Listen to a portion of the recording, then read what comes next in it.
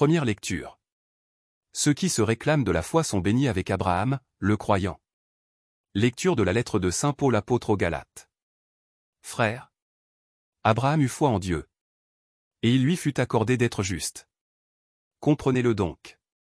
Ceux qui se réclament de la foi. Ce sont eux, les fils d'Abraham. D'ailleurs, l'Écriture avait prévu, au sujet des nations, que Dieu les rendrait justes par la foi. Et elle avait annoncé d'avance à Abraham. Cette bonne nouvelle. En toi seront bénies toutes les nations. Ainsi, ceux qui se réclament de la foi sont bénis avec Abraham, le croyant. Quant à ceux qui se réclament de la pratique de la loi, ils sont tous sous la menace d'une malédiction.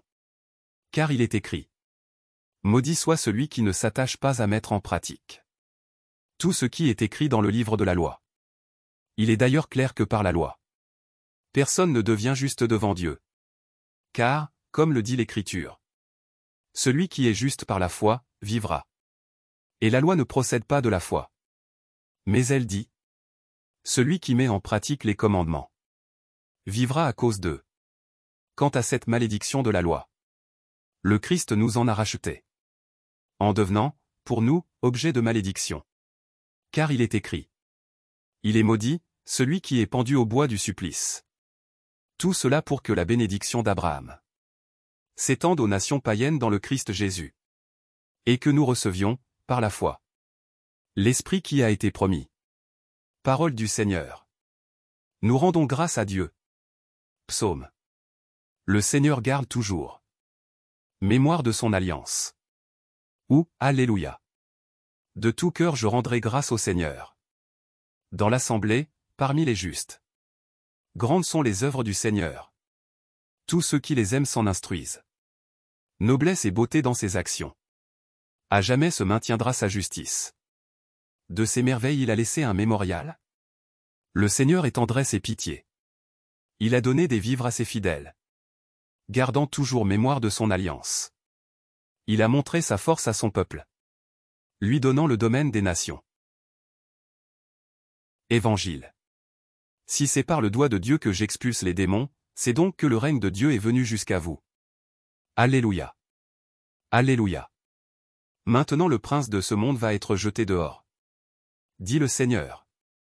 Et moi, quand j'aurai été élevé de terre, j'attirerai à moi tous les hommes.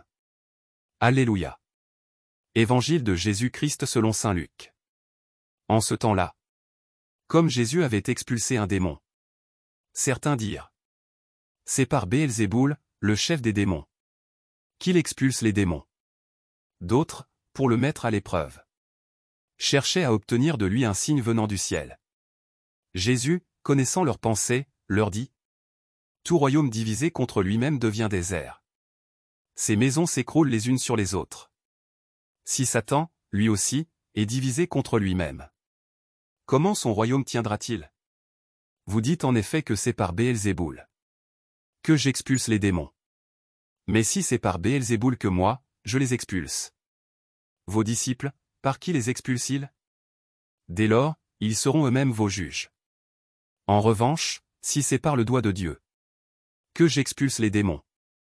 C'est donc que le règne de Dieu est venu jusqu'à vous. Quand l'homme fort, et bien armé, garde son palais. Tout ce qui lui appartient est en sécurité. Mais si un plus fort survient et triomphe de lui, il lui enlève son armement auquel il se fiait. Et il distribue tout ce dont il l'a dépouillé. Celui qui n'est pas avec moi est contre moi. Celui qui ne rassemble pas avec moi disperse. Quand l'esprit impur est sorti de l'homme, il parcourt des lieux arides. En cherchant où se reposer. Et il ne trouve pas. Alors il se dit. Je vais retourner dans ma maison. D'où je suis sorti. En arrivant, il la trouve balayée et bien rangée. Alors il s'en va. Et il prend d'autres esprits encore plus mauvais que lui. Au nombre de sept. Ils entrent et s'y installent.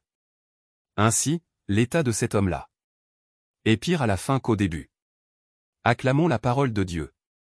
Louange à toi Seigneur Jésus.